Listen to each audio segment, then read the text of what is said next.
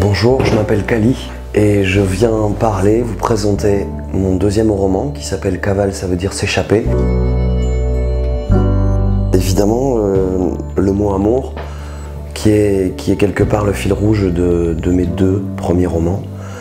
Euh, dans le premier, c'est un petit garçon de 6 ans qui s'appelle Bruno et qui, perd sa maman et qui cherche euh, partout sa maman, l'amour de sa maman. Et dans le deuxième, euh, le petit Bruno a 15 ans. Et, l'amour se transforme à quelque chose de un petit peu différent, c'est-à-dire que c'est l'oreille de la vie, c'est le moment où, euh, euh, on n'a pas encore fait l'amour, mais on ne pense qu'à ça. On pense qu'aux filles, on pense qu'à. On est avec sa meute d'amis, on a envie de, sauter par la fenêtre, de courir partout. En tout cas, on pleure beaucoup le soir en écoutant de la musique, en écoutant les Clash, en écoutant Renault, en écoutant YouTube, en écoutant beaucoup de choses. On pleure parce que parce qu'on on voudrait, on voudrait dire à celle que, qui, qui, qui, qui, explose au fond de son cœur, tout l'amour qu'on on voudrait lui donner l'amour comme ça, et, euh, et le petit Bruno n'ose pas le dire. Et chaque matin, il se retrouve dans son lycée et il n'ose pas franchir ce pas-là. Donc je vais pas tout raconter, mais, mais ce livre parle beaucoup, beaucoup, beaucoup d'amour. Bruno euh, a un rapport particulier euh, très fort avec son papa. Son papa qui, qui a perdu sa femme donc dans le premier, dans le premier roman. Et dans le deuxième roman, euh, le papa est là, perdu, de plus en plus perdu. Il se remarie, il trouve une autre personne, donc évidemment c'est un chamboulement total dans la famille. Et l'autre côté, c'est la deuxième famille que, qui se forme autour du petit Bruno. C'est la meute d'amis, euh, très fort, à la vie, à la mort. Et ça, c'est la seconde famille, euh, celle qu'on va chercher au bout de chaque nuit. C'est un livre autour de, toutes ces familles-là, de cette communauté-là, et de cette meute. Euh, Bruno, euh, c'est peut-être moi, et peut-être pas. Donc il y a des, petits bouts d'autobiographie de, ma vie, mais, euh, ce sont des, petits moments comme des petits souvenirs qui viennent parsemer des, fantasmes complets, une vie romancée. Ce que j'ai beaucoup aimé, c'est attraper des vraies personnes réelles, avec des vrais noms, euh, des personnes qui existent réellement ou qui ont existé réellement. Et j'ai beaucoup aimé, ça m'a beaucoup amusé de leur faire faire des choses qu'ils n'ont peut-être pas accomplies. Alec, le héros des deux romans, euh, est un petit garçon que j'ai croisé à 6 ans. Aujourd'hui, il en a 15 dans mon second roman. Et, j'ai eu le, j'ai le privilège d'avoir ce, ce garçon-là près de moi à mon âge aujourd'hui, toujours. On est très proches. Et quand il m'a dit, mais Bruno, est-ce que tu penses qu'on a vraiment fait tout ça? Je lui ai dit, euh, peut-être pas, mais on s'en fout. C'est pas la vie de Cali qui intéresse les gens, c'est c'est la vie de ce petit Bruno, c'est la vie d'un petit, d'un petit garçon qui a envie de rester, euh, qui a envie de rester euh, enfant et en même temps qui veut sauter le pas et qui veut euh, croquer la vie d'adulte, qui veut voir ce qui se passe après. Mais ce moment de rébellion, ce moment de- d'adolescence, on ne le vit qu'une fois. Et peut-être qu'après 20 ans, c'est c'est le reste de la vie, quoi. Voilà.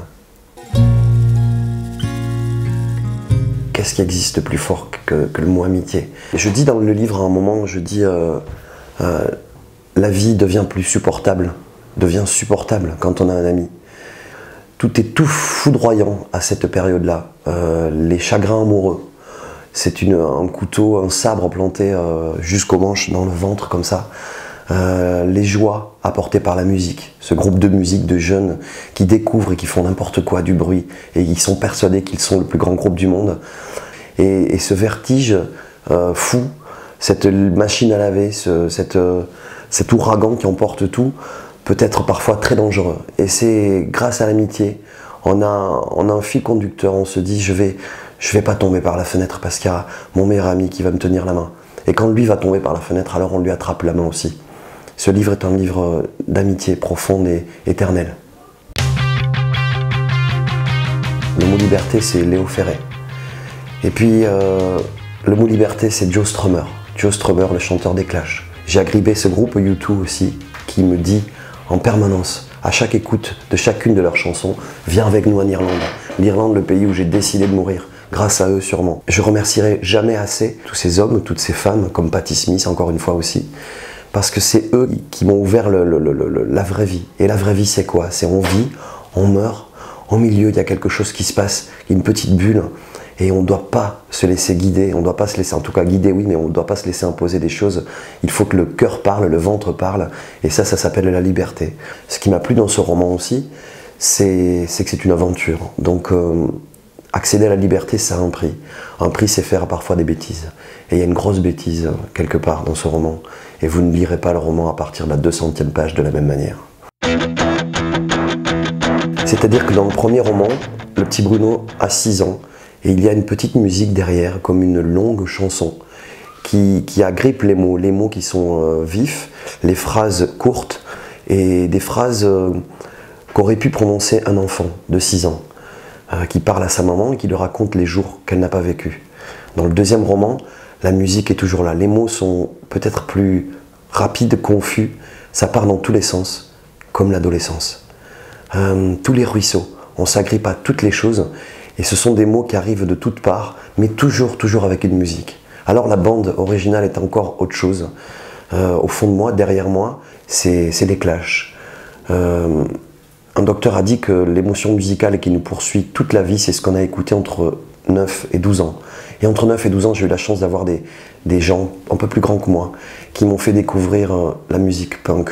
Et surtout, surtout, cette énergie incroyable euh, ce regard tourné vers l'éternité. C'était pas du no future, c'était plutôt si tu tiens la main euh, de la personne à côté de toi, alors tu pourras avancer, et lui aussi, et beaucoup, beaucoup plus loin. Et c'est ça pour moi la musique qui m'intéresse, les clashs. Et puis après, la découverte de, de YouTube.